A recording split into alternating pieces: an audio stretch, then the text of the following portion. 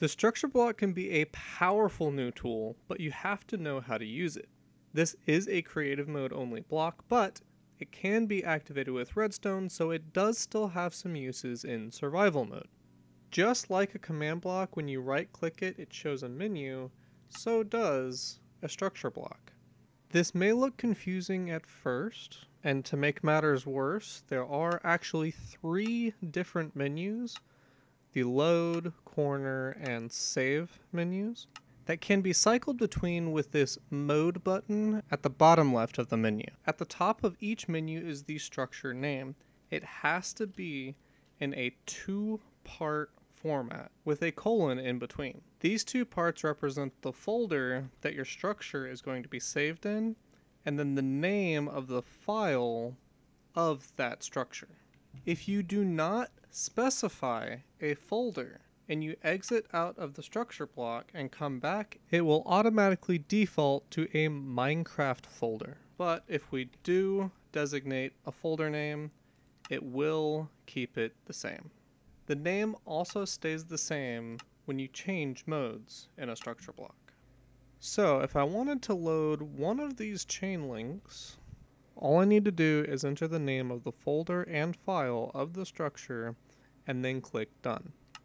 It will prepare the area first, so then we go back in, click load a second time, and it will be loaded into the world. Next, let's talk about the relative position. These three boxes determines where the actual structure gets loaded into the world. In this order, they represent the X, the Y, and the Z axis. The bounding box will always have a corner with colored lines.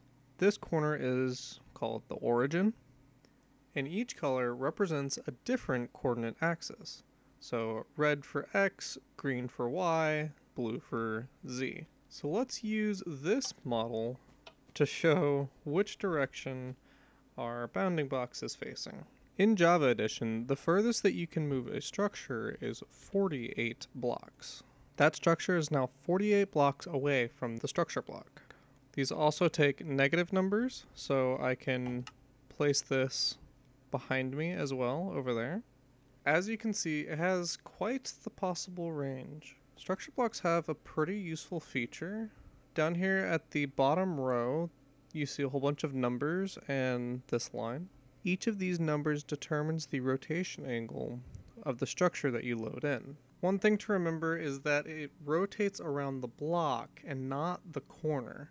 So each time that we change the angle of the rotation, see how it's continuing to keep the block inside that bounding box. So let's actually load these in so we can see how they actually end up looking.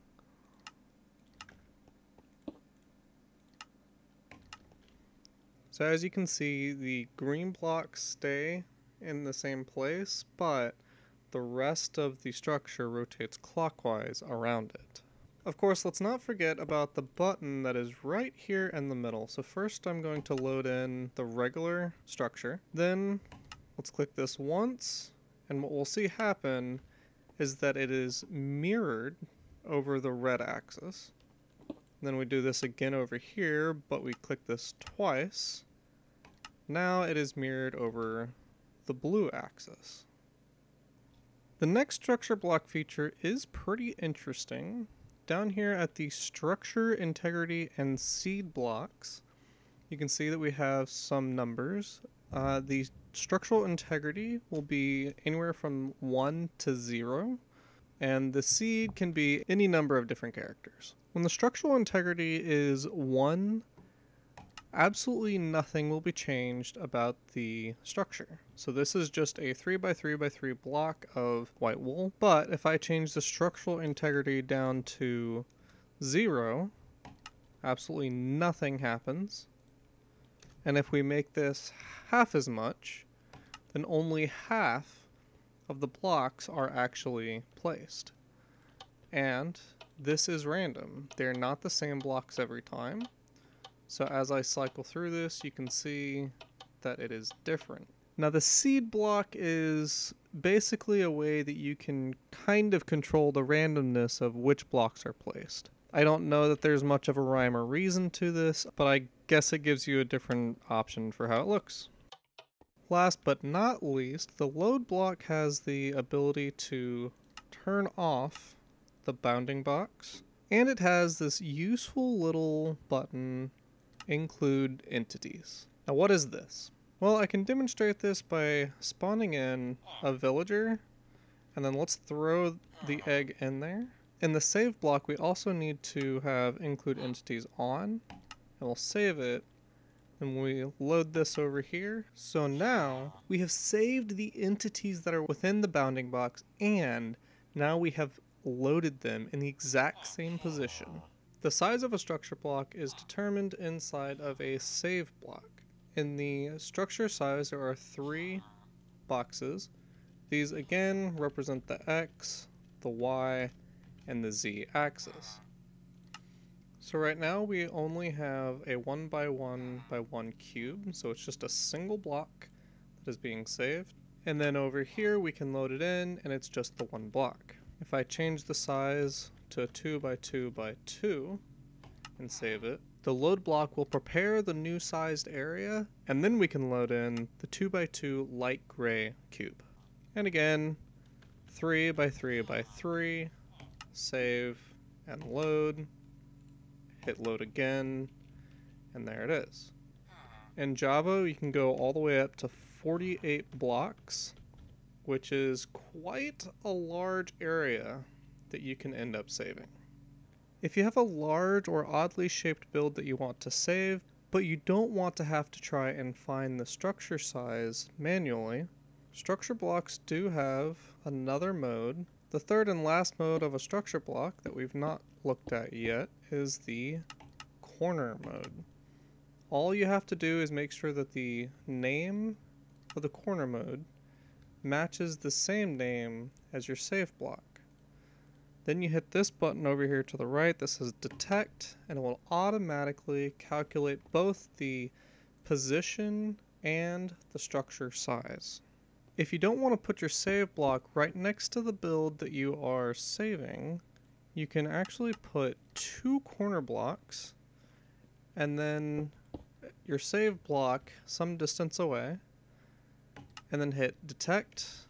Again, this corner block just has to match the name of the save block. Minecraft has some invisible blocks that you might want to use in creative mode. Save mode structure blocks have the unique ability, with this button to the right, to show those invisible blocks. So now any invisible block that is within the bounding box will be shown by these little colored cubes. All three types of air are shown by this little blue cube. The structure void, which I'll show you here in just a second, is shown by this kind of pinkish cube. Barrier blocks are red and light blocks are yellow. Structure voids ignore the blocks that this is placed in. So when we save this, it doesn't save these as any kind of block, not even air. So if I go over here and load it in, it doesn't change the blocks that we told it not to with the structure void. We can do the same thing with water and lava. Which, by the way, you can actually save liquids as well. This does include lava, as you can see here. And then of course, if we get rid of the structure voids and save it, we are actually saving these blocks as air. So I can come back in here, and there we go, it completely gets rid of the black blocks. Well, that's it for the basics. Feel free to ask any clarifying questions in the comments, because my channel is all about structure blocks, so make sure to subscribe for some more advanced tips in the future.